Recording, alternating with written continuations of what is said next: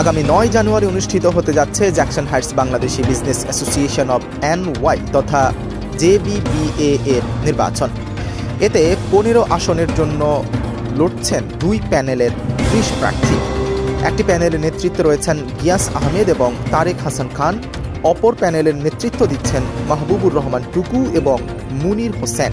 গতকাল তিন জানুয়ারি একটি পরিচিতি সভা করেছে টুকু মুনির পরিষদ। জ্যাকসন হাইটসের নবান্ন পার্টি সেন্টারে এটি অনুষ্ঠিত হয়। জেবিবিএ এর বিদায়ী কমিটির সাধারণ সম্পাদক এবং আসন্ন নির্বাচনে টুকু মুনির প্যানেলের সভাপতি প্রার্থী যুক্তরাষ্ট্র আওয়ামী লীগের নেতা মাহবুবুর রহমান টুকু বলেন, আমাদের প্যানেল জয়ী হলে ব্যবসায়ীদের জন্য পার্কিংয়ের ব্যবস্থা করা হবে। শুধু ব্যবসায়ী নয়, ক্রেতা সাধারণের জন্য নিরাপত্তার ব্যবস্থা করা হবে। মাহবুর রহমান, টুকুর বিশ্বাস। জেবিবিএ কে কল্যাণমুখী সংগঠনে পরিণত করার স্বার্থেই আমার প্যানেলকে জয়ী করবেন ভোটাররা। পরিচিতি সভায় আরও বক্তব্য রাখেন প্যানেলের সাধারণ সম্পাদক মুনির হোসেন।